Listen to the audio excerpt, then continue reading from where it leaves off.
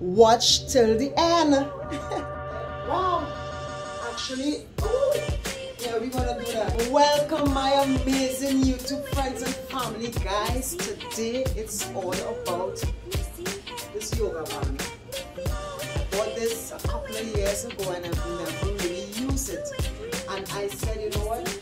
Uh, today I'm going to do shoulder mobility. You know, follow along with me. Because we have 10 to 12 reps twice. So if you want to see this video, continue watching. Love you guys.